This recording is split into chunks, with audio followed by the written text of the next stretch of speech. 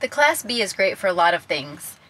And in the cooking department, we've got pretty much everything we need. We have a microwave, we have a two burner gas stove, and both of those work really well. But the only thing we're kind of missing is an oven.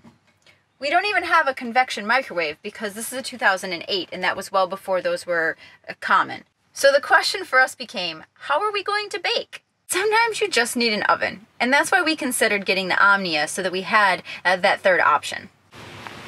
I'm holding our Omnia oven, and one of the first things that I noticed about it when we got it was how small it actually is. I was a little surprised when I pulled it out of the box that it really is very compact which is awesome because we don't have a lot of space in the Roadtrek and this fits perfectly in our little microwave. It may seem a little gimmicky, but this carrying bag is probably one of its best features. When you're in the van, you don't have a lot of space and everything needs to stay compact. So the fact that it can store within itself is basically a bonus. So inside the bag is the oven. Isn't it cute?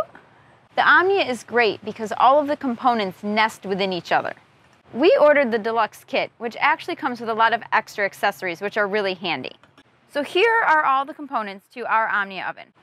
Now you can just order the basic kit, which includes the base, the oven, and the lid. But like I said, we got the deluxe version, which includes the extra parts that you see here.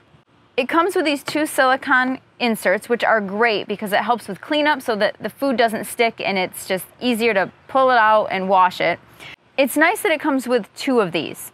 Now, we've decided to use one for savory and one for sweet because sometimes the silicone does pick up the flavor of the food a little bit. Um, now, but you can use them in any way you want.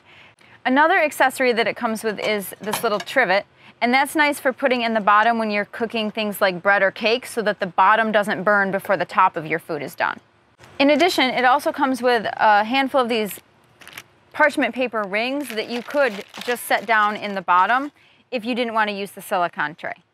We really like having all of these features and if you can find the deluxe or the accessories separately, we do recommend you buying them just because it makes the cleanup and the prep work so much easier.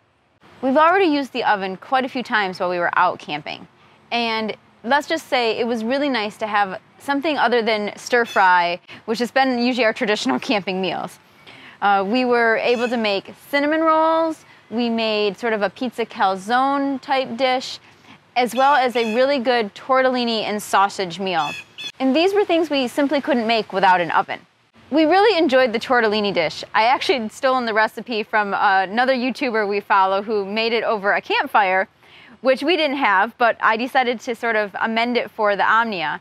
And it was really good. So I cooked the, the meat separately, uh, but then it was really just a matter of putting all of the ingredients and layering them into the silicone. So it was the ground beef, it was the tortellini, and then I dumped cheese and sauce on the top and baked it for about 20, 25 minutes and it was perfect. And again, this just wasn't a meal. I mean, we, we could have done it in the skillet, um, but the fry pan that we carry with us isn't that big, and so this allowed us to have a much larger and hotter meal than we might have otherwise. The person I stole the recipe from actually made his in a Dutch oven over the campfire. And we have been asked a couple of times why we didn't get a Dutch oven. Part of that is just a weight issue. In the Class B, we have to be really mindful of how much we carry, and we already carry a lot. And while Dutch ovens and, and cast iron in general are really nice, they are extremely heavy. And basically I can get this entire Omnia for far less weight than a Dutch oven would be. So that's why we chose to go this route instead. So tonight, even though we're not out camping, we're gonna make some cornbread to go with the salmon that we're having later for dinner. This is really easy to make. So I've I've already prepped the cornbread mix and it's just, you know, it's Jiffy, it's local. If you're from Michigan, you'll recognize the Jiffy brand. It's made just a few miles down the road from us, so always want to plug that. Um, but I've already pre-mixed that. So now all I have to do is pour it in.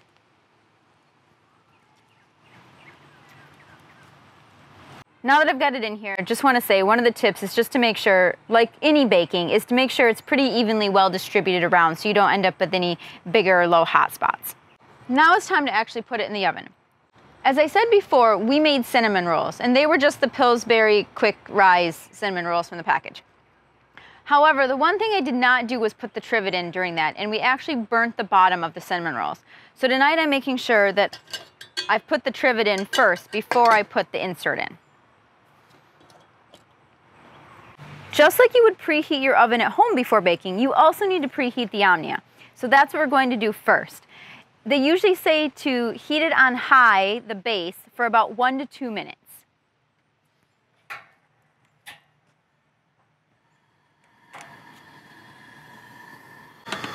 Now that it's been preheated, you actually get to start cooking.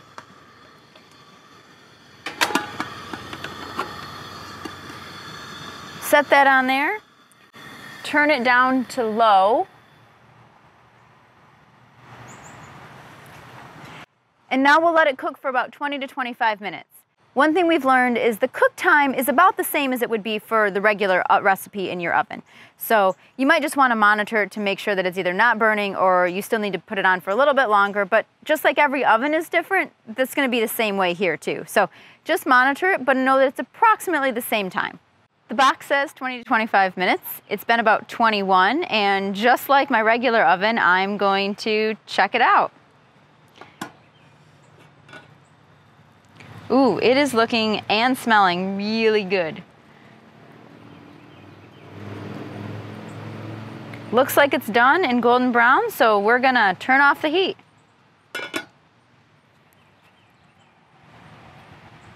All right, I'm gonna take it off the stove now. And it is really hot, so make sure that you have your, uh, some kind of gloves.